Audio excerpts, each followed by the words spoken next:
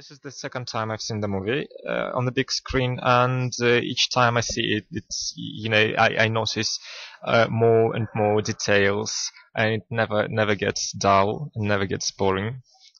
Uh, I, I was just you know uh, biting my nails all the time, sitting in the in the in the chair in the in the audience uh, room in the in the in cinema, biting my nails, being nervous all the time, got sweaty hands yeah, that recalled some feelings I've had before.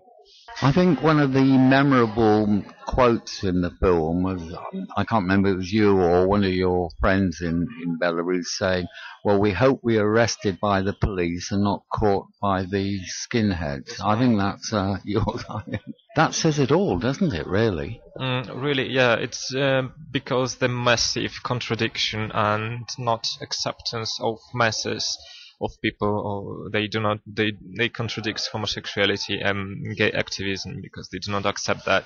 And uh, in that case yeah in case you are arrested by the police you will be beaten less than by the people who do not uh, who do not you know sometimes control their their feelings and might hurt you really badly which will uh, cause you you know uh, multiple injuries and several months of uh, recreating recreation in some hospital you know.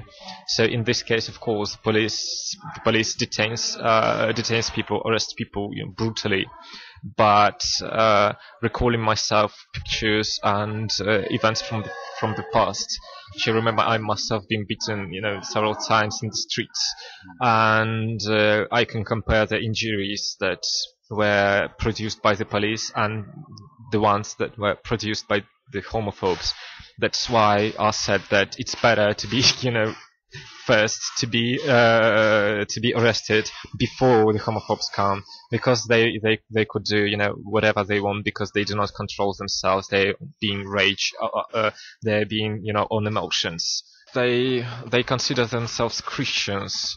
And uh, you probably know in in the Eastern Europe the role of Catholicism. Is not speak as in, in Central Europe or Western, but nevertheless we have got uh, Orthodox Church, which is much more strict in that meaning, which is much more well Orthodox, yeah, which is much more brutal, I would say even, and uh, uh, the majority of the religious people are belong to this Orthodox Church and they're being ruled by by what uh, Orthodox leaders say, and they are not very accurate in their expressions uh, concerning homosexuality. Uh, and uh, as you as you could see in Moscow, it's uh, it's much more visible than in Belarus. Um, they sometimes they bring crosses as if they want to uh, as if they want to make some kind some act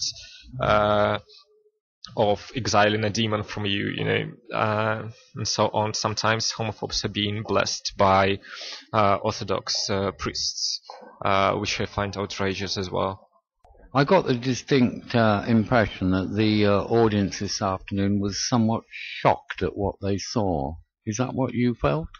Uh, no, yeah, I felt it because when people were asking me questions, I could see their eyes. Kind of, uh, there was an expression of surprise on it.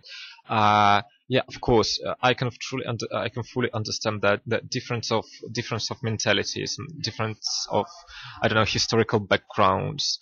It's uh, it's uh, it's truly seen, yeah, between between the difference between what's happening in the Western uh, in the Western Europe and in the Eastern Europe, and. Uh, uh, yeah, of course, especially for people who have seen, uh, who have ever experienced something for the first time, seen such things for the first time in their their calm lives, lives, uh, it might be shocking. But uh, at the same time, it is good. It is good as an educative, uh, as an educative act. They, uh, they, now they know more and they see difference. And uh, I hope that after after the showing of the film, after seeing the film, they will not take. Uh, they will they will consider. They will discuss these problems among their in, in their communities, and they will not take their freedoms for granted uh, they they must totally acknowledge that rights are not rights are not something that which is being gained. It's something which is being taken. Sometimes sometimes you know roughly taken. Sometimes you have to you have to put force to take uh, to take rights. Sometimes you have to gather people. Uh, sometimes you have to uh, sometimes you have to call for help from other countries. Do you ever see the day when in Belarus uh, uh, um, a gay pride will be authorized? Uh, do I imagine this day? Yes, I do, of course. The dictatorship and the regime of Lukashenko is weakens every day, is weakening day by day, uh, because the catastrophic situation, economical situation in the country, and people right now cannot afford themselves to buy, you know, food sometimes. And when they will be absolutely angry, uh, Lukashenko will pass. You know, he will go away. All right, and and only when another uh, another president who is going to be chosen in a fairly on fair elections, uh, which is going to happen soon, I believe. There will be much. It will be much more easier to to communicate, to to conduct a dialogue uh, between social groups and uh, the government. So I see this day, and it's going to be. I uh, I can even foretell that it is going to be in three, four years, maybe. This country has been torn, uh, it has been torn apart many times in the history, and uh, uh, these these people will understand that they have never been they have never been uh, given freedom before, and that, that if they gain freedom as all the people, not only uh, not gay but as, as, as nation, yeah, they will not be uh, they shouldn't be Mm, you know, cutting freedoms of other members of the community, uh, because mostly, uh, I believe, well, I, I met such an attitude in Belarusian, uh, in Belarus, that whether you are gay or not, you are a Belarusian person, so you are our gay, you know.